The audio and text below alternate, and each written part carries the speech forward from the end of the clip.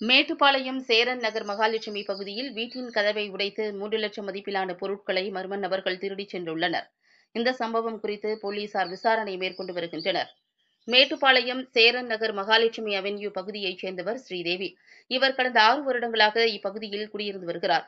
இவரும் இவரது குடும்பத்தாரும் சேலத்தில் உள்ள கோவிலுக்கு சுவாமி தரிசனம் செய்வதற்காக காலை பத்து முப்பது மணிக்கு சென்றுள்ளனர்.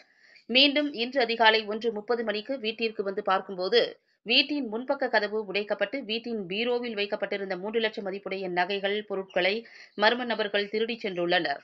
இதுகுறித்து ஸ்ரீதேவி மேட்டுப்பாளையம் காவல் நிலையத்தில் புகார் அளித்தார்.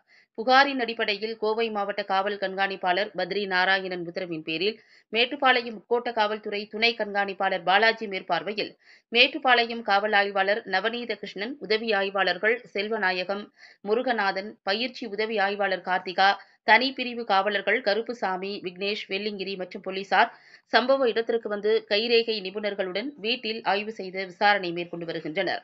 இந்த சம்பவம் அப்பகுதியில் பரபரப்பை ஏற்படுத்தியுள்ளது.